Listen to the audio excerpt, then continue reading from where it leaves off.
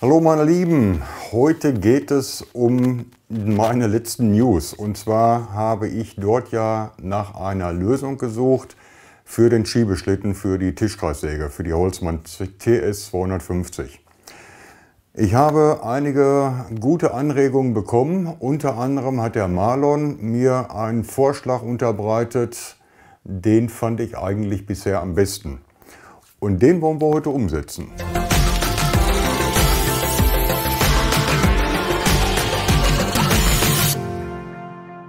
So, und zwar geht es ja hier um den Schiebeschlitten. Und zwar hatte ich in den äh, Kommentaren mal einmal stehen gehabt, dass man ja hier diesen Abstand, den habe ich hier auf 51 oder 52, wie viel das waren. So, also wir bekommen hier, wenn wir, ja, sind es 51,5. Das heißt also eine, eine Brettstärke von 51,5, die kriegen wir hier rein. USB-Platten sollen wohl irgendwie 70 oder 72 haben und die würde man hiermit nicht schneiden können. Ja, aufgrund der, meines Aufrufs habe ich dann verschiedene Möglichkeiten äh, bekommen.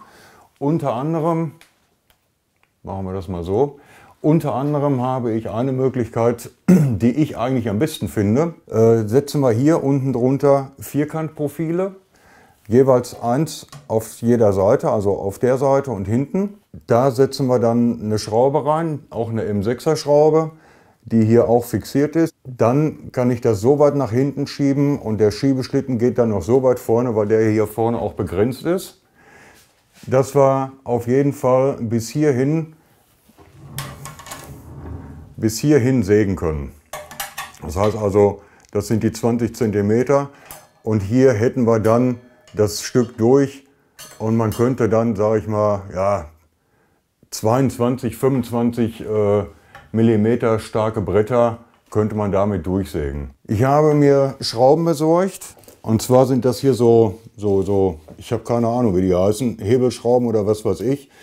So Schnellspannschrauben sind das, die werde ich da drunter setzen, so dass man das auch werkzeuglos dann machen kann. Man braucht das nur einfach dann losdrehen und dann kann man die Schiene nach hinten setzen und ähm, dann wieder festziehen und dann ist eigentlich alles gut.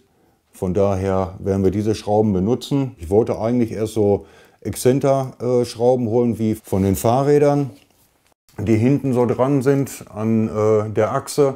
Aber die waren mir zu teuer. Und da habe ich dann hier nach Hebeln gesucht. Und die hatten sie bei Hornbach. Und da hat jetzt einer drei Euro gekostet. War auch schon teuer. Aber diese äh, Exzenter Schnellspannschrauben oder Achsen, wie man die auch nennt, äh, ja, die kosten irgendwie 6, 7, 8 Euro. Und das war mir dann doch ein bisschen viel. Und hier habe ich mir noch so eine kleine Besonderheit einfallen lassen, weil wenn wir das hier jetzt hier losschrauben, dann könnte das ja auch alles wieder so ein bisschen nach unten rutschen oder sich verschieben. Und ähm, da werde ich das, den Flachstahl, den werde ich hier so durchziehen. Ach, den, das äh, Vierkantrohr werde ich so durchziehen und hier vorsetzen. Man kann das natürlich dann mit dem Flachstahl dann verbinden. Ja, ich habe ein Schweißgerät. Ich werde da so zwei Schweißpunkte drauf machen und äh, dann ist das eigentlich stabil und fest bei mir. Wie gesagt, die Alternative wäre hier eine Schraube rein oder hier ein Loch reinzubohren und äh, in das äh, Vierkantrohr ein Loch reinzubohren und die beiden Teile dann mit dem Flacheisen zu verbinden. Von daher sage ich mal, eine Lösung gibt es für alles und gucken wir mal, ob wir das heute hinkriegen. Ja, als allererstes machen wir uns jetzt erstmal hier den Schiebeschlitten weg legen den zur Seite.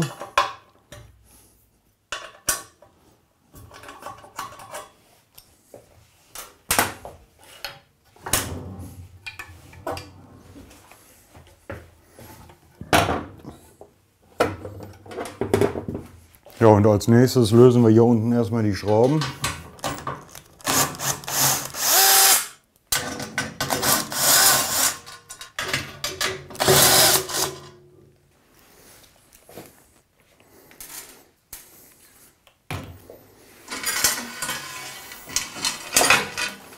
So, das konnten wir jetzt so schön abziehen. Da sind die. Ich dachte schon, hier fehlen nur zwei Schrauben. So, legen wir uns auch zur Seite. Ja, die Schrauben brauchen wir nicht mehr. Dafür haben wir ja, haben wir ja andere. Dann schrauben wir uns den Part hier ab.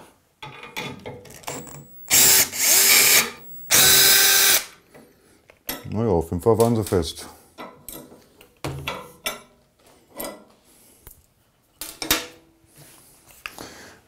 Die Stifte hier, die sind festgeschweißt.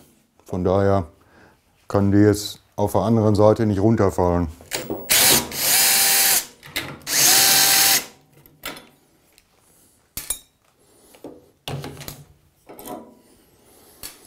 Ja, und die brauchen wir auch nicht mehr. So, jetzt kommt hier das äh, Vierkantrohr zwischen. Und da muss ich jetzt mal eben gucken. Ja, das ist auch genau die Höhe. Das heißt also, ich werde das von hier nach hier hinten messen und dieses Stück ausflexen. Dann werden wir das hier trennen. Das wären 58,5. So, das ist äh, 1 mm, glaube ich, anderthalb. Und das ist genau auch die Höhe von dem, dem Überstand hier. Das heißt also, ich werde jetzt hier genau das Maß bis hier hinnehmen. Und das sind 58, 58,5. Ja, das flexen wir uns jetzt hier ab. Und dann werde ich hier das dann einlassen, so dass wir das dann hinterher schöner drauflegen können, so als Brücke, so gesehen.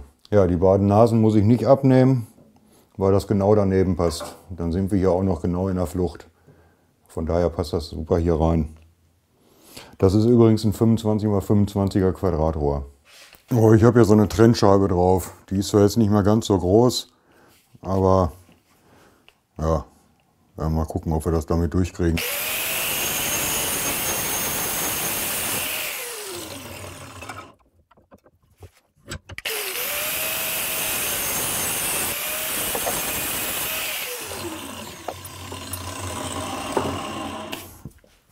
So, jetzt werde ich mir noch das Maß nehmen, wie weit ich jetzt hier rein muss. Und dann werden wir, dann werden wir uns das Stück hier rausflexen. Ja, das sollte jetzt hier reinpassen. Das macht es auch. Das heißt einmal hier und einmal bis da.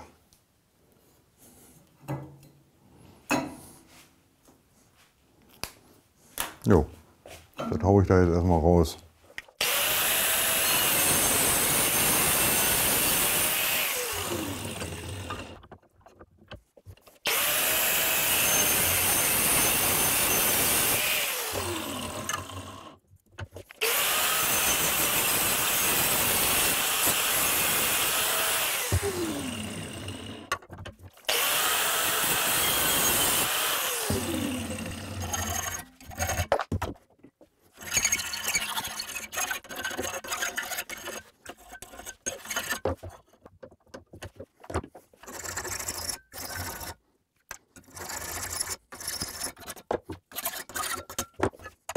Gucken wir mal, ob das passt.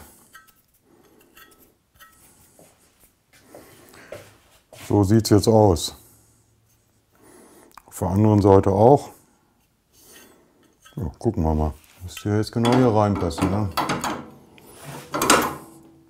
Ja, macht es auch. So, hier muss ich dann doch noch, ich hätte hier vorsichtshalber noch so einen kleinen Rand stehen lassen damit ich das dann auch richtig plan kriege. Aber ich merke, dass der auch wirklich noch weg muss. Ja, ja den fahre ich eben noch weg. Ja, das liegt jetzt hier Bombe auf. Ist auch richtig plan. Dann mache ich jetzt noch das andere fertig. Das kommt ja dann hier hinten hin. Beziehungsweise das kann ich ja schon mal hier hinten lassen. Dann mache ich jetzt noch eins fertig für hier vorne. Ja, das andere Vierkart-Rohr habe ich jetzt auch fertig. Passen hier super rein, schließen auch ab. Und dann können wir mal eben gucken, wie das mit der Schiene hier aussieht. Weil ich werde jetzt hier in 25 cm Abstand werde ich jetzt jeweils ein Loch bohren für die Schraube, die dann ja hier unten reinkommt. Und dann kann man die ganze Schiene, wenn man das jetzt hier unten die sechs äh, Schrauben losgemacht hat, kann man dann zurückziehen bis auf 20 cm und das dann wieder hier festziehen und hier vorne und dann hat man einen weiteren Bereich, so dass wir hier auf 72 cm dann kommen. Das heißt also, wir bohren ja jetzt erstmal bohren jetzt erstmal hier zwei Löcher rein und dann schweiße ich das hier eben mit zwei Punkten fest. Das sollte ja reichen. Und äh, ist ja nur, dass das dann hinterher nicht nach oben, nach, nicht nach oben kippt. Wenn wir hier hinten das ganze Gewicht hier mit dem Schiebeschlitten auch haben. Das muss ja festgemacht werden. Wer kein Schweißgerät hat, der kann hier unten einen Flachstahl nehmen und hier auch einen Flachstahl. Das sind 5 mm hier zwischen. Also 2 x 5 mm Flachstahl. Und äh, hier ein Gewinde reinschrauben, hier festziehen und hier ein Loch reinbohren. Äh, das wäre die Alternative zu denjenigen oder für diejenigen, die kein Schweißgerät zur Verfügung haben. Aber wie gesagt, ich habe eins und von daher werde ich hier mal eben zwei Punkte dran hauen. Ach so, erst Löcher bohren. Erst Löcher bohren.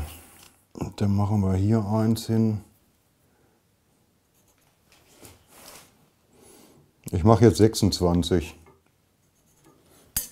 So. Und da bohre ich jetzt ein Sechser Loch rein.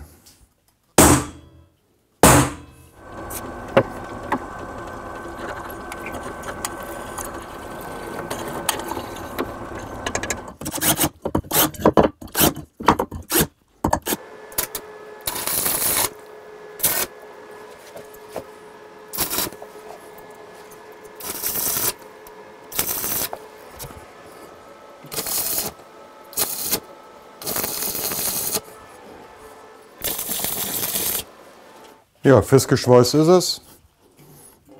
Und das ist auch gut stabil. Gut, eigentlich wollte ich jetzt hier noch so ein bisschen Farbe drüber jagen. Das mache ich auch noch eben.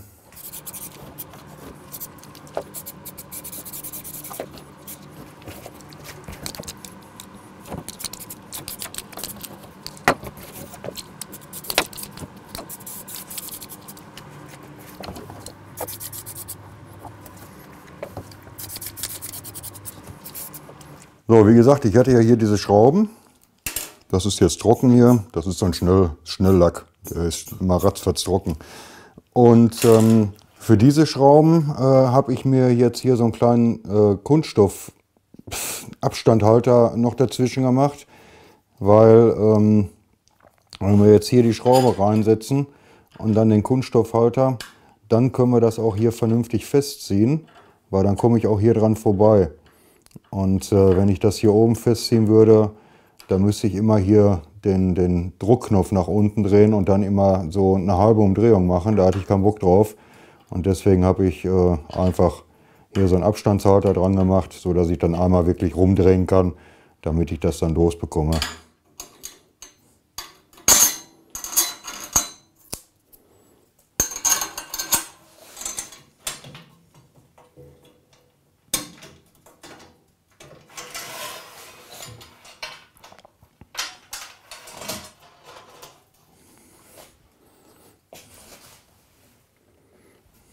Abstandshalter.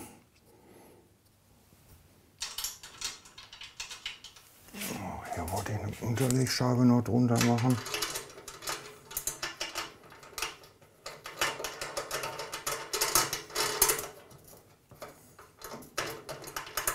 Ja, das habe ich mir gedacht.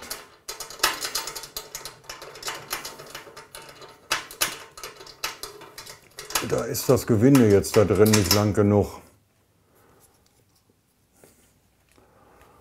Ja, was machen wir denn da?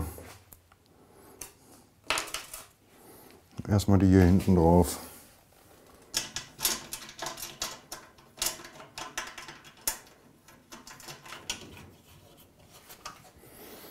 Ja, könnte ich ja dann noch zwei Unterlegscheiben nehmen. Müsste ja dann eigentlich auch gehen.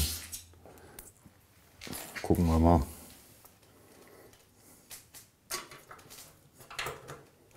Ja, zwei Unterlegscheiben passt.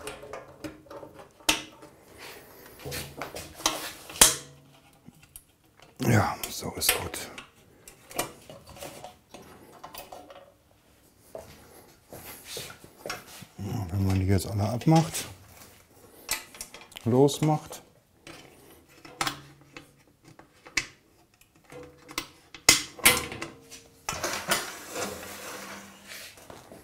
Dann kann man das nach hier hinten ziehen, hier festziehen und hier auch. Dann können wir jetzt mal den Schiebeschlitten da drauf halten wieder. So kam der.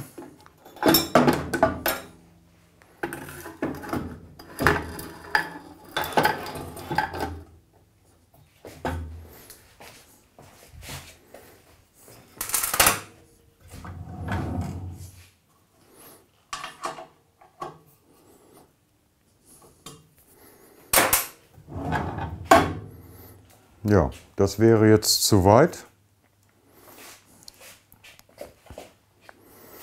Weil ich komme jetzt hier nicht mehr und kann mein Werkstück durchsägen.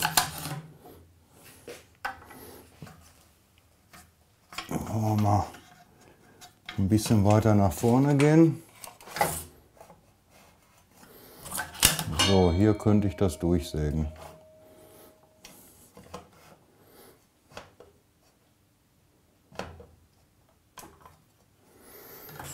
So, worauf man auch achten muss, ist hier der Abstand, dass der auch parallel läuft. Ja, man kann sich auch ein Lineal dann dazu holen, beziehungsweise einen Winkel. Und dann, ja, so wäre perfekt. Und dann kann man das hier festziehen. Ja, und in der Höhe ich kann natürlich das Sägeblatt jetzt hier noch weiter rausziehen. Da könnte ich jetzt schon 4 cm durchsägen an Brettstärke. So, und da das ja variabel ist, dann kann ich das auch noch weiter nach vorne ziehen, wenn ich 5 cm oder 6 cm habe. So, und dann gucken wir mal, wie viel Zentimeter ich jetzt hier durchsägen kann, was wir jetzt hier gewonnen haben durch die ganze Aktion. Ja, jetzt bin ich bei 70 cm. 69 cm. So, jetzt weiß ich natürlich nicht, wie groß so eine USB-Platte ist. Ich weiß nicht, ich glaube, das waren 71, was er mir gesagt hatte. Wenn wir jetzt hier 69 haben und ich habe ja jetzt hier 4 cm und bin noch nicht ganz oben. Das heißt also, wenn ich das jetzt hier weiter hochschraube, dann komme ich auch noch ein bisschen weiter nach vorne. Und wenn ich jetzt hier 2 cm abmesse,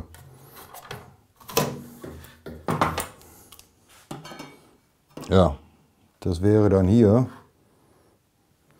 Dann hätte ich hier noch 3 cm. Das heißt also 72 cm an Breite könnte ich jetzt hier drauf sägen. Da kann man sich dann hier natürlich eine Markierung machen, wo die 72 cm sind. Und dann kann man den, die äh, Platte oder das Profil dann so weit zurückziehen und dann festschrauben, dann kann man auch auf 72 cm jetzt hier was durchsägen. So, und jetzt, um das Profil wieder zurückzuziehen, da löse ich jetzt hier nochmal die Schrauben.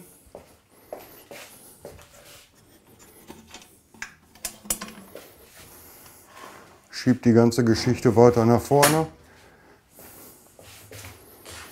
Fädel hier die Schrauben ein.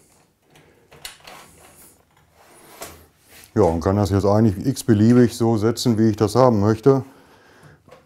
Den Winkel jetzt hier nochmal angenommen, äh, angelegt, damit wir hier auch wieder winklig sind.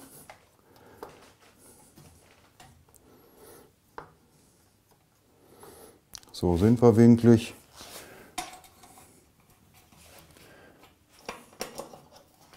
Ich sag mal, so weit bin ich zufrieden damit, weil ich ja auch schon mal breitere Platten habe und bis auf 72 cm kann ich jetzt damit machen. Ähm, ja, eigentlich perfekt. Und Kostenaufwand, ja, das sind 2 mal 58 cm Quadratstahl, 25 mal 25. Und ähm, ja, hier diese, ich weiß immer noch nicht, wie sie heißen, die Schrauben, damit man das vernünftig schnell abgeschraubt bekommt und nicht ständig irgendwie immer einen Schlüssel nehmen muss. Aber äh, ja, ich sag mal so, das ist auf jeden Fall schon mal eine Lösung, die man nehmen kann. Und ja, könnt ihr mal in die Kommentare reinschreiben, was ihr von meiner Lösung haltet. Beziehungsweise ist ja nicht wirklich ganz von mir, sondern der Marlon Heiß, der hat mir dabei geholfen. Er hatte mir eine Idee äh, per Mail geschickt und ähm, wie man das halt lösen könnte, das Problem. Ja, ich habe es jetzt so umgesetzt. Ich bin da eigentlich sehr, sehr zufrieden mit. Und ich hatte aber auch letztens noch, ich, ihr seid mir hier ganz schön schwer. Ich hatte letzte Mal noch, ähm, so, ich hatte letzte Mal ähm, gesagt, dass meine Höhenverstellung sehr, sehr schwer geht. Und da zeige ich euch auch mal eben schnell noch, ähm, was ich da gemacht habe. Eigentlich relativ easy. Ähm, ich schraube mal vorne die Platte ab und dann zeige ich euch das. Hier vorne die Platte, die kann man abschrauben und die ist eigentlich nur mit vier Schrauben hier befestigt. Man muss auch keine Angst haben, dass dahinter eine Schraube ist, da ist Gewinde drin, äh, eine Mutter.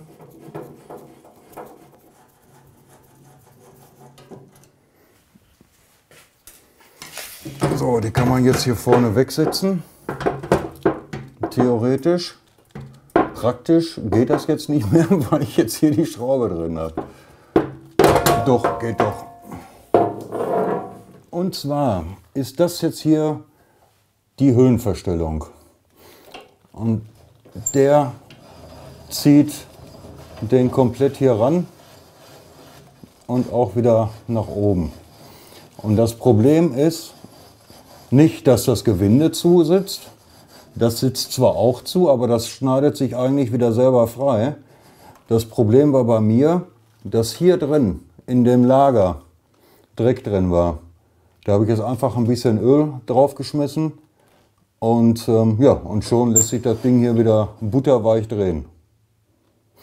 Das ist hier die 45 Grad Verstellung und die lässt sich auch immer noch gut drehen, also da braucht man nichts machen.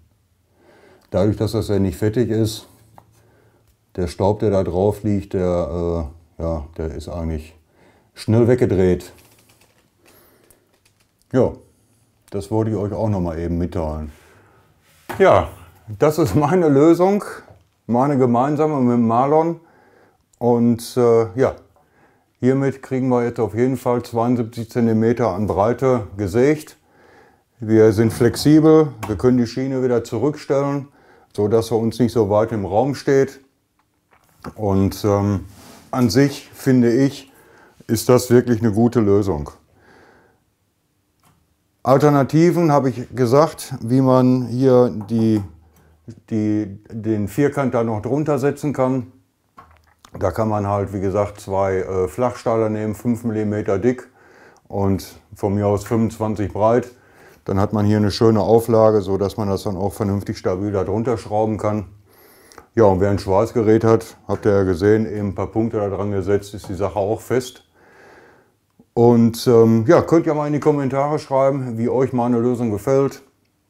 Ich bin da sehr zufrieden mit und ja, würde sagen, wir sehen uns im nächsten Video. Bis dann, tschüss.